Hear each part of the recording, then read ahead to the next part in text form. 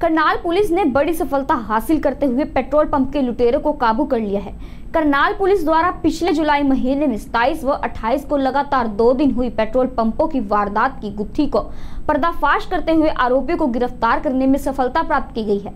यह जानकारी एसपी सुरेंद्र सिंह भोरिया ने अपने कार्यालय में एक प्रेस कॉन्फ्रेंस बुलाकर पत्रकारों को दी।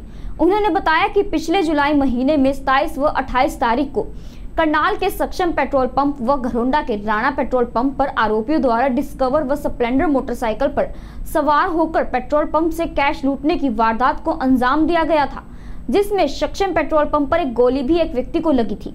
सुरेंद्र सिंह भोरिया ने बताया कि पुलिस द्वारा इस मामले को गंभीरता से लेते हुए पुलिस की टीमें गठित की गई थी, जिन्होंने कड़ी मुशक्कत के बाद आरोपी प्रिंस व विशाल को गिरफ़्तार करने में सफलता हासिल की है। उन्होंने बताया कि इनका एक तीसरा साथी पवन भी वारदात में शामिल था, जिसके बारे में जानकारी प्राप्त कर ली गई है। उसको भी शीघ्र ही गिरफ़्तार किया जाएगा। एसपी ने बताया कि आरोपियों को 20 अगस्त तक रिमांड पर लिया गया है। इस दौरान उनसे वारदात में प्रयोग किए गए कपड़े व रिवॉल्वर लूटा गया कैश व अन्य जानकारी हासिल की जाएगी। यहाँ हम आपको बता दें कि पिछले दिनों करनाल में हुई लगातार दो दिन पेट्रोल पंप की वारदातों से शहर में हाईवे पर डर का माहौल व्याप्त हो गया था जिसको देखते हुए करनाल एसपी ने तत्परता दिखाते हुए पेट्रोल पंप लुटेरों को गिरफ़्तार कर एक बड़ी कामयाबी हासिल की गई। देखिए एसपी सुरेंद्र सिंह भोरिया द्वारा संबोधित प्रेस कॉन्फ्रेंस के कुछ अंश उसमें दो आरोपियों को गिरफ़्तार कर लिया गया है और उससे जो है क्या क्या बरामद हुआ है क्या कहना चाहिए देखिए जैसे आप सभी जानते हैं कि सताईस तारीख को और अट्ठाईस जुलाई को इन दो दिन दो लगातार वारदात हुई थी जिसमें मोटरसाइकिल पे जो स्कफ स्कफल्ड फेस के साथ तीन लड़कों ने दो जगह वारदात की थी और जो एक पहली वारदात हुई थी, उसमें सक्षम पेट्रोल पंप, जो नमस्ते चौक के पास है, वहाँ से तीन लड़के मोटरसाइकिल पे आए।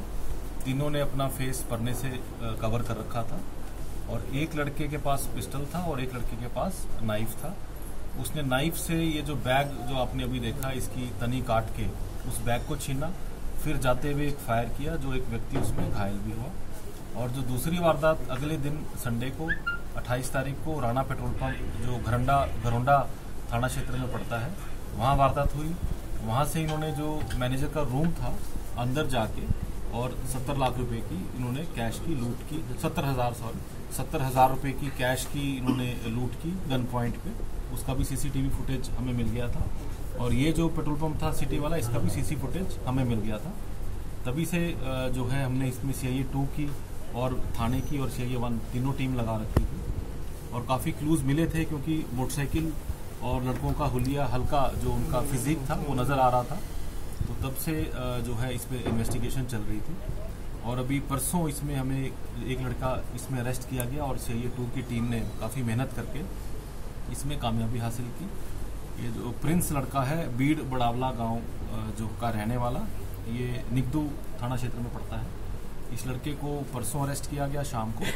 और जो दूसरा लड़का है, विशाल, ये गोंदर गाँव का रहने वाला है। इसे कल एक बजे सेक्टर 12 से अरेस्ट किया गया। अरेस्ट करने के बाद इनको कल पेश करके इनका पुलिस रिमांड लिया गया। पुलिस रिमांड के दौरान इन्होंने जो वारदात को अंजाम दिया, ये सारी बातों को इन्होंने कन्फेस किया। और जो बैग लूटा गया था जिसके अंदर कैश था, सक्षम पेट्रोल पंप से, और जो वेपन यूज़ हुए थे, और जो मोटरसाइकिल यूज़ हुई थी, उसे रिकवर कर लिया गया है। इन्होंने अलग अलग मोटरसाइकिल दोनों वारदात में यूज़ की थी।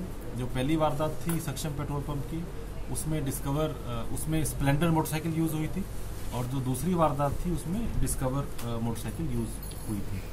तो बाकी बाकी जो इनसे रिकवरी है अभी 20 तारीख तक पुलिस रिमांड पे है। जो कैश है वो इन्होंने बता दिया है कहाँ रखा है। और जो नाइफ है और एक पिस्टल और है जो इनसे बरामद करनी है। और जो कपड़े इन्होंने उस दिन पहने हुए थे तो वो भी इनसे बरामद करने हैं। वो ड्यूरिंग रिमांड उनसे रिकवरी की कहाँ से पकड़े जाएगी साथ साथ जो तीसरा लड़का है उसका नाम भी स्पष्ट हो गया है। वो पवन जो लड़का है वो समालखा का रहने वाला है। वो ऑलरेडी 302 के केस में कन्विक्टेड है। हिसार जेल से पेरोल पे आया था। पेरोल जंप कर रही थी उसे भी जल्द जो है टीम द्वारा गिरफ़्तार किया जाएगा। कहाँ से गिरफ़्तार किया जाएगा? इसमें एक तो अरेस्ट किया है त्रावड़ी से सोकड़ा रोड से और दूसरे को सेक्टर बारह से। दोनों वारदातें इन्होंने की हैं? बिल्कुल इन्होंने की है उसमें मोटरसाइकिल रिकवर होगी और जो कपड़े पहने थे वो सारा सीसीटीवी फुटेज से हमने काफ़ी इसमें टेक्निकल इन्वेस्टिगेशन जो एविडेंस है वो भी कलेक्ट किया। सर पवन पवन का तो बता दिया। पहले भी जो है अब वेरीफाई कर रहे हैं। ऑलरेडी ये जो विशाल लड़का है उसके खिलाफ तीन मुकदमे स्नैचिंग के ऑलरेडी दर्ज हैं। और भी हो सकता है हमें उम्मीद है कि वो काफ़ी वारदात उस दौरान पानीपत में भी हुई थी। और और भी वारदात खुलने की इनसे। सर ये- कोरोना में सर जो थे बदमाशी कौन कौन से थे जो कोरोना में वारदात घरोंडा में एक्चुअल कॉन्स्पिरेसी में तीनों थे लेकिन जो फुटेज आई थी वो दो की आई थी। एक तो ये विशाल था जो अंदर गए थे और दूसरा पवन था। सर- कैश कितना कैश इन्होंने जितना लूट किया है वो उन्होंने बता दिया कहाँ रखा है उनसे अभी रिकवरी क्योंकि अभी पुलिस रिमांड पे उस दौरान की जाएगी। उसमें गोली किसने चलाई थी सर ड्राइवर पर चाकू से बैग किसने काटा? जो चाकू से बैग काटा था वो विशाल ने काटा था। और जो गोली चलाई थी वो पवन ने चलाई। सर शादीशुदा है विशाल और शादीशुदा? है वो अभी हम चेक कर लेंगे अभी सर एक इंद्री रोड में लूट हुई थी ड्राइवर से अभी एक बार ये कर लें पहले उसके बाद सर इनसे क्या क्या बरामद हुआ है? इनसे आप जैसे अभी आपने देखा एक तो इनसे जो 315 बोर का कट्टा है विद लाइव कार्ट्रिज वो बरामद हुआ है। वो जो दूसरी फुटेज में क्लियर नज़र भी आ रहा है जो घरोंडा की वारदात है और जो मोटरसाइकिल दोनों वारदात में यूज़ हुई है और जो बैग जिसके अंदर कैश था इन्होंने कटर से वो जो उसकी तनी काट के जो दिख भी रहा है वीडियो में क्लियर अभी ये रिकवरी हुई है। बाकी उस जो उस दिन उन्होंने कपड़े पहने थे जो एक और वेपन है वो भी उन्होंने बता दिया है कि कहाँ रखा है। सर इनको कैश सर ये शरेआम जैसे लूट कर लेते हैं। डर नहीं है इनको पुलिस का जबकि सीसी कैमरे भी लगे हैं।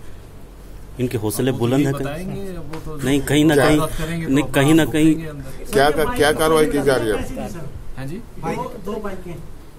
बाइक वो अभी रिकवर हो गया वो वेरीफाई कर लेंगे इनके इंजन नंबर चैसी नंबर से वो वेरीफाई हो जाएगा। सिर्फ़ उन्होंने में लगाई थी सर वो भी इन्होंने लगाई थी नहीं वो अलग है उसमें फुटेज आई हुई है। वो एक अलग मैटर है ये तो स्पेसिफिकली लूट इनके अलावा इन्होंने और भी कई जगह प्लान कर ली जो अभी प्रिलिमिनरी पूछताछ में बताया है। इन्होंने असंध में भी एक वारदात करनी थी एक और घरोंडा में वारदात करनी थी लेकिन क्योंकि जो उस टाइम पेट्रोलिंग बढ़ गई थी तो इन्होंने बताया कि वो मौका इनको लग नहीं पाया। अदरवाइज़ इनका जो प्लान था कि लगातार वारदात करके फिर इन्होंने कहीं दूर किसी जगह जाना था। तो सर जल्दी जिसने ट्रेस आउट किया है बड़ी कामयाबी लगी है क्योंकि पेट्रोलियम डीलर्स एसोसिएशन ने भी जो है सीधे तौर पर यह कहा होता कि अगर जल्दी गिरफ्तारी नहीं होती तो वह हड़ताल पर भी जा सकते हैं। हालाँकि वो पहले उन्होंने टाल दिया था लेकिन अब गिरफ्तारी हो गई है तो काफ़ी वो भी हाँ। सेटिस्फाई है इस देखिए वो पेट्रोल एसोसिएशन हम रेगुलर टच में थे उनको हम इन्वेस्टिगेशन की डेवलपमेंट भी बता रहे थे। कुछ चीज़ें उस समय मीडिया में नहीं बताई जा सकती थी। लेकिन काफ़ी कॉपरेट किया उन्होंने। तो कि वारदात तो जो है, वो हो गई। प्रिवेंशन तो आप मेजर नहीं कर सकते कि कितनी प्रिवेंट हुई, ना उसका कहीं कोई रिकॉर्ड होता। ऐसे ही लेटेस्ट खबरें पाने के लिए सब्सक्राइब बटन पर क्लिक कर बेल आइकन को दबाएँ।